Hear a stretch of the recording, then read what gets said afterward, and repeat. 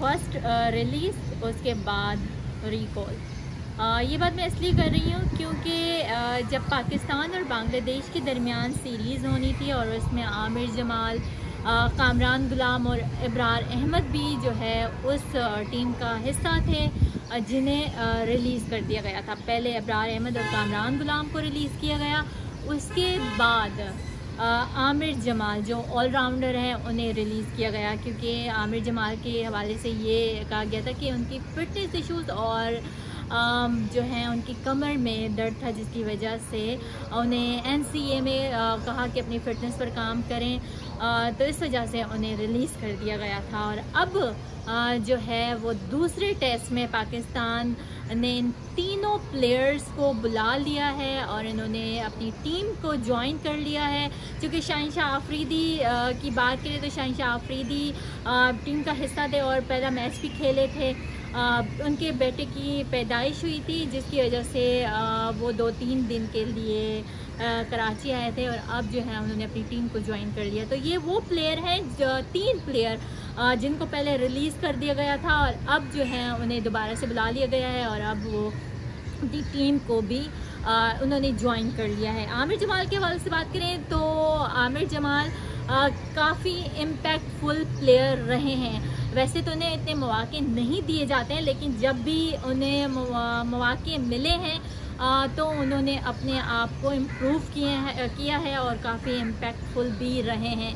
रही बात अबरार अहमद की तो अबरार अहमद जो है वो टीम का टेस्ट टीम का हिस्सा होते हैं। काफ़ी बार हमने उन्हें देखा है, वो हिस्सा तो होते हैं, लेकिन उन्हें प्लेइंग एलेवन का प्लेइंग एलेवन में शामिल नहीं किया जाता है। उन्हें सिर्फ़ बेंच पर बिठाया रहता है और रखा जाता है और उन्हें प्लेइंग एलेवन का हिस्सा नहीं बनाया जाता है और इससे पहले जो ये मैचेस चल रहे हैं टेस्ट मैचेस जो पिंडी में हैं, उनसे पहले भी उन्हें रिलीज़ कर दिया गया था और अब वो टीम में वापस उन्होंने अपने स्पोर्ट को ज्वाइन भी कर लिया गया है क्योंकि ये कहा, सुनने में ये आ रहा है कि दो से तीन तब्दीलियाँ जो है वो होनी हैं। अब वो दो तीन तब्दीलियाँ जो है वो किन प्लेयर के सूरत में हमें सामने आती हैं किन प्लेयर्स के सूरत में सामने नहीं आती है? आ, क्योंकि अगर बात की जाए कामरान गुलाम की तो कामरान गुलाम डोमेस्टिक में अच्छी परफॉर्मेंसेस देने के बावजूद भी उन्हें पाकिस्तान टीम जो नेशनल टीम है उन्हें उसमें शामिल नहीं किया जाता। ये वो प्लेयर हैं जिन्हें इतने मौके नहीं दिए जाते हालाँकि अगर इनकी परफॉर्मेंस पे नज़र डाली जाए तो काफ़ी इम्पैक्टफुल रहते हैं।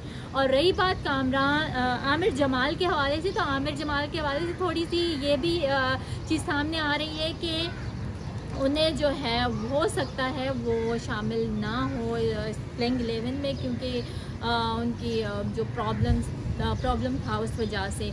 लेकिन अब देखते हैं कि जो दो तीन तब्दीलियाँ नज़र आएँगी, हमें जो इन प्लेयर्स को बुलाया गया है, उनमें से कौन सा प्लेयर जो है, वो हमें प्लेइंग एलेवन का हिस्सा होता हुआ नज़र आता है। क्योंकि अबरार अहमद वो प्लेयर हैं जिनकी बड़ी ज़बरदस्त परफॉर्मेंसेस रहती हैं टेस्ट टेस्ट टीम में क्योंकि वो मिस्ट्री स्पिनर हैं और बड़ी ज़बरदस्त वो बॉलिंग भी करते हुए नज़र आते हैं।